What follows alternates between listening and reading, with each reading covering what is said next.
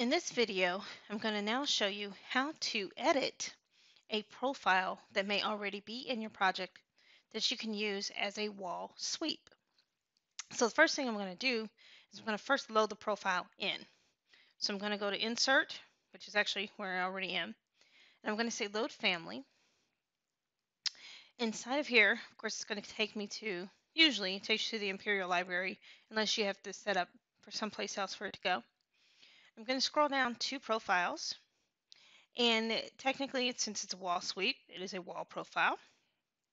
And there's a few of them in here. There's a sill precast in here. That's one I'm going to open up. So it looks like if this is just in case it wasn't already in a project. It already was here, so I'm just going to say override the existing version in its parameters, but I wasn't sure. So I went ahead and loaded it in just in case. Now, if you're wondering, well, where did that go? Okay, let me show you. Over here in your project browser, come over here to families, of course, expand that. Then scroll down until you get to profiles itself, expand that. And as you can see, they're all loaded in based off of the ones that you have loaded in. The one we are working on is sill precast. I'm going to just hit the plus sign for just a second. You can see there's all these variations. There's a 5 inch wide, an 8 inch wide, 12 inch wide. What I mean by that is from um, th that's how deep the wall, the sweep is from the wall to how far it juts out. So just so there's no confusion. But if I want to edit the whole entire thing, I'm going to actually click on top of the word, the name of the file itself, not its types. I'm going to do a right click and I'm going to say edit.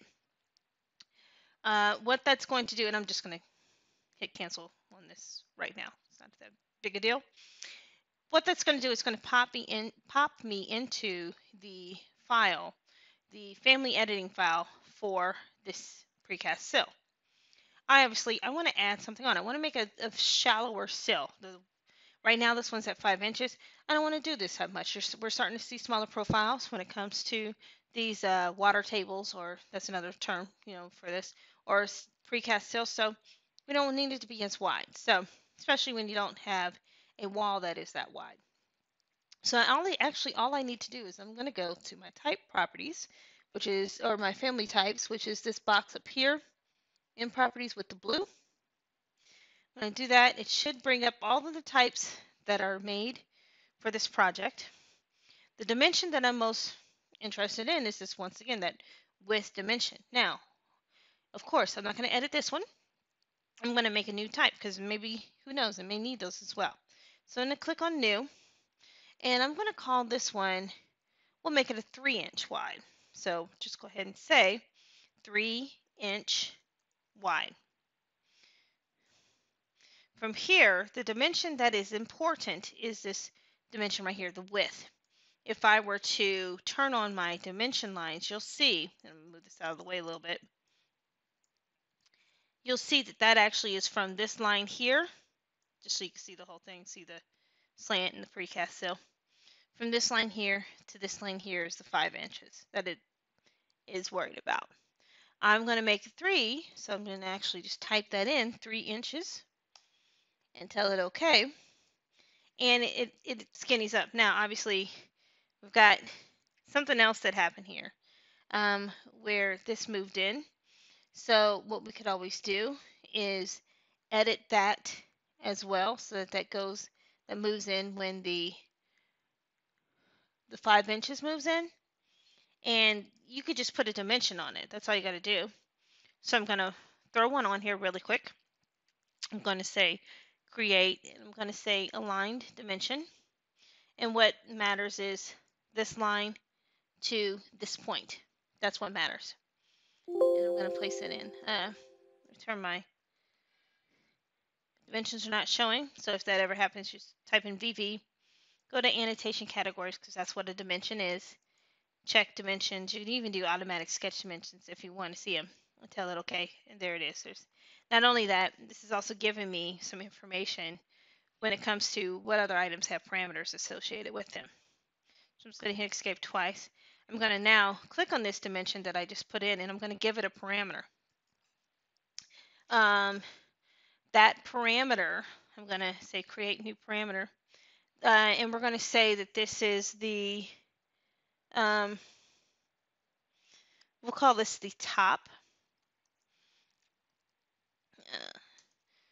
uh, of sill, meaning that's the top of sill depth. We can even put top of sill depth on it so we have an idea what we're talking about. It's yes, you do want to make it a type parameter because you want this to change for every single type that you have, not necessarily every single instance. You want to keep these together. Um, it is grouped under a dimension. You could leave that there. We can put that information in um, later. Obviously, it's reading off of, it's a reported parameter. So what that means is all we have to do is just let the dimension do its work, and I'll show you what I mean. I'm, I always like to put in tooltips, so I can just say use this parameter to declare the top width of the sloped sill.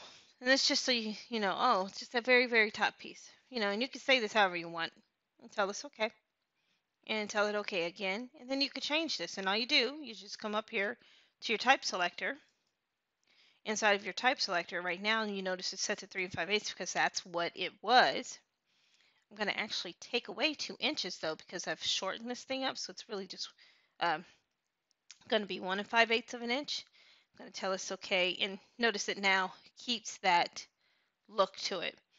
Uh, you can keep the other look with the other types. So if I were to go back in my types and I go to my other ones, because they're still here, they don't change, they don't go away.